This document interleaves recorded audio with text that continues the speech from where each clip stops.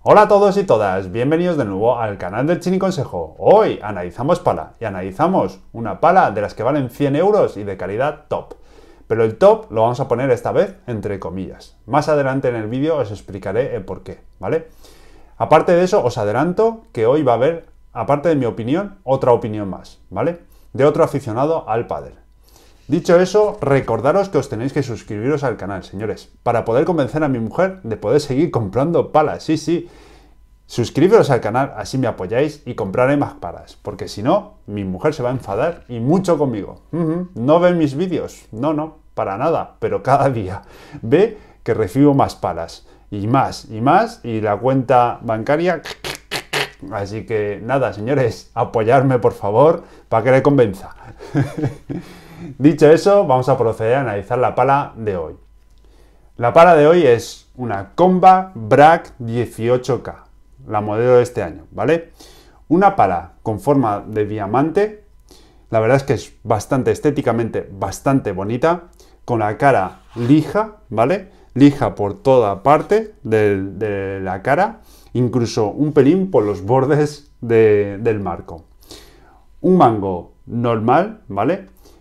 ¿Por qué digo que un mango normal? Porque en la Bra 12K el mango me pareció un pelín corta. En este caso no, no he tenido ese problema, ¿vale? Y es un mango normal. Una soga de estirar, ¿vale? Lo que pasa que es muy cómoda. Lo único que tiene esto que es un pelín más ancho, ¿vale? Esto. Por tanto, es muy fácil correr lo que es la cuando estiras, ¿vale? Cuando lo tienes enganchado es muy fácil de soltarse.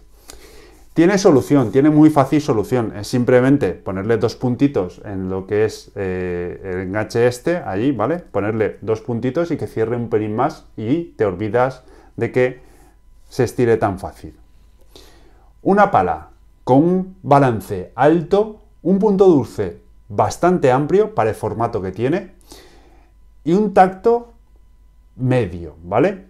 Comparación con la Delta Fox de 18K, por ejemplo, esta pala es más blanda. Me recuerda bastante a la 18K, a la de AT10, la Nox AT10 Genius 18K, la de este año. Me recuerda bastante en el tacto. Más blanda que la Ibri Hard, más dura que la Royal Paddle M27, mm, más branda que la Bávora iViper, que la Technical Venom e incluso diría que de la Counter Veron es más branda, ¿vale? Esta es más blanda que todas las que, de las tres que he mencionado de Babolat. Ya os digo, más dura que la Royal Paddle y más dura que la Cicron Adai. Bastante similar en tacto a la Nova, a la Cicron Nova. ¿Vale? Dicho eso, en tacto, eh, vamos a proceder a analizar dentro de pista el comportamiento. Dentro de pista es una pala que para mí me ha ido bastante bien, ¿vale?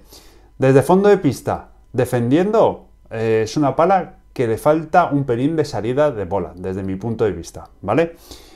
La verdad es que de salida de bola va justa, no es una pala que de, aquellas que, que pones la pala haces un pelín gesto y sale la bola. No, la verdad es que va de salida justito, justito. A mí me ha venido bien porque así controlas bastante más y yo soy de los que le mete fuerte y la verdad es que así se me va menos la pelota y controlo bastante más la bola, ¿vale?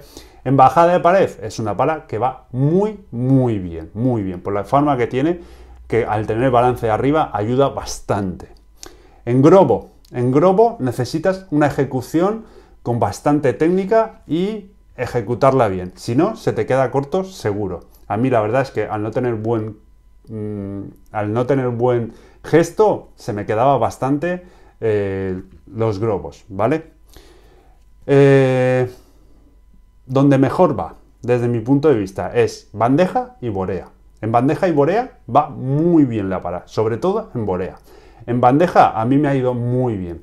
¿Por qué? Pues muy sencillo, porque al no tener tanta salida, yo la bandeja, que normalmente la suelo apretar más de lo normal, ¿vale? La bandeja mm, yo la aprieto más de lo normal, por tanto, me ha venido bien que no tuviera esa excesiva salida de bola y he metido más las bolas, no se me ha ido tanto.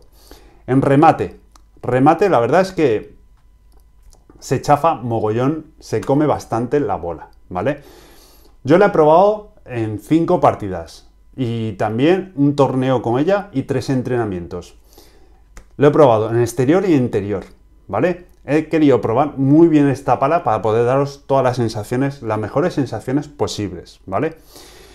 Nada, dicho eso, eh, voy a meter ahora a, nuestro amigo Marcero, ¿vale? Que es suscriptor y amigo y está en Argentina. Recordar que ahí es en verano, ¿vale? Que nos cuente las sensaciones que ha tenido él con esta pala y ahora seguimos con las contras de esta pala y su manejabilidad, ¿vale? Hola Dani, hola a toda la gente del canal. Mi nombre es Marcelo, soy de Buenos Aires, Argentina. Y les quiero brindar las sensaciones que yo tuve con esta Combat Black 18K. Eh, sinceramente, el comportamiento, el tacto, el tacto de la pala es un tacto medio, medio blando. Eh, comportamiento, por ejemplo, de fondo eh, fue bastante flojo, ya que se come bastante la bola. lo mismo pasa con el remate y lo mismo pasa con la bandeja. tiene que ser muy técnico. Si con la víbora tenés bastante técnica, te puede llegar a ir bien, pero sinceramente no, no me gustó, no me gustó. Donde más se destaca es en la volea. En la volea sinceramente va muy bien, la noté muy bien, a mí me gustó en ese sentido.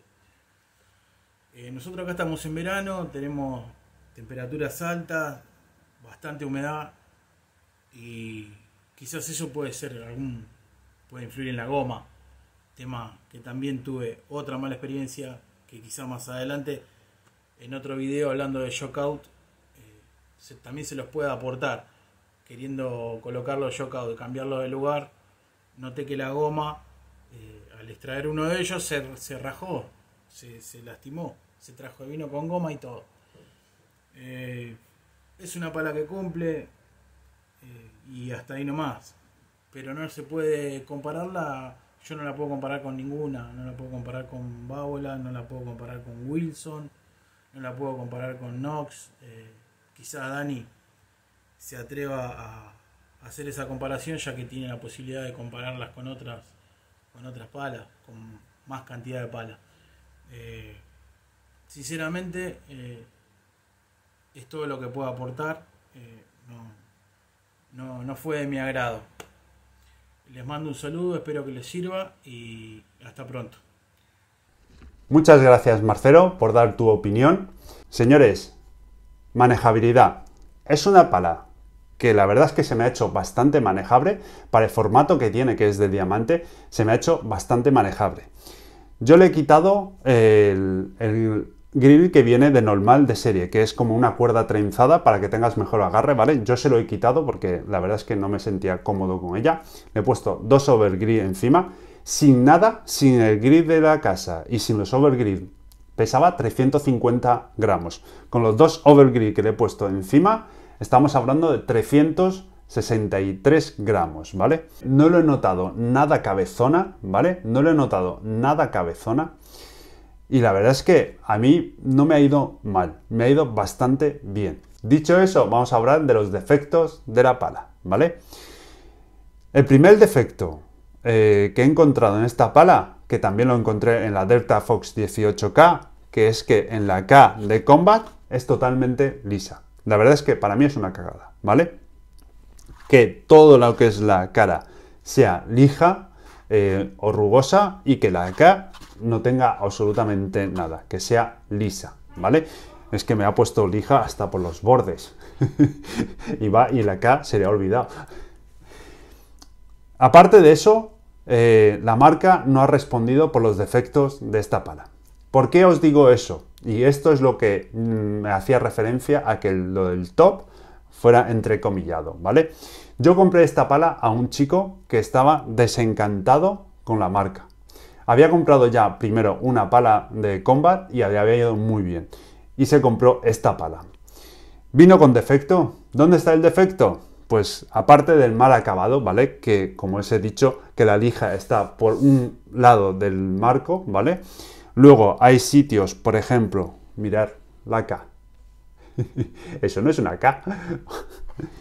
en este caso, en este lado sí que está bien y en este lado la K no está bien escrita. Pero bueno, eso es un defecto que no, no afecta al comportamiento de la pala, ¿vale? Luego también había acabados que no estaba bien acabado, ¿vale? Eh, le escribió a la marca y la marca no le respondió. Le escribió por Instagram, tampoco. Le mandó un email y nunca le contestó. Y decidió vender las dos palas que tenía Combat. Y yo me hice con ella, ¿vale? Con esta. Por tanto, deciros que, la marca no ha respondido por los defectos que tuvo la, la pala. A ver, no solo esta casa, sé que eh, conozco de varias marcas, por no decir casi todas las marcas, al final si vas saturado de trabajo no te responden. Y si te responde, te responde diciendo que ya eso, pero en este caso no ha respondido y no ha dicho nada. Ahí la verdad es que lo veo mal. Pero bueno, aparte de eso, ya os digo que a mí la pala no me ha ido mal, su comportamiento la verdad es que me ha gustado, ¿vale? Eh, recomendaciones de la pala. Yo esta pala se la recomendaría a gente con algo de técnica, ¿vale? Hasta avanzado. Eh, gente principiante, pues a ver, yo creo que le iría mejor mm, una pala o con formato híbrido o, redonda y con un pelín más de salida, sobre todo por la salida de bola, no por otra cosa, porque manejabilidad la verdad es que se hace bastante fácil de manejar y el punto dulce es bastante amplio. Lo único es que mm, te exige que muchos, por ejemplo en el globo o atrás defendiendo, eh, te exige que hagas bien la técnica para que pueda pasar la bola, ¿vale? Al no tener esa salida de bola, pues te exige más la técnica. Nada, nota. Yo le daría en general un 8, ¿vale? Salida de bola, un 7. Eh, control, un 8 y medio. Potencia, le daría un 7 y manejabilidad, un 8,5, incluso 9, ¿vale? Nada, cualquier duda que tengáis, señores, me podéis dejar ahí abajo en los comentarios. Y ahora os dejo un vídeo, primero eh, del sobrino de Marcelo dándole caña a esta pala, un, chico de 2 metros y pico, eh, y grande, muy grande. Y luego un entrenamiento y un par de partidas de, prueba de padel, de prueba de pala, ¿vale? Muchísimas gracias, señores. Y nada, pronto más review, que me han llegado ya esta semana. Dos palas arriba y otras dos que la tengo por sacar. Muchísimas gracias y nos vemos pronto. Chao, chao.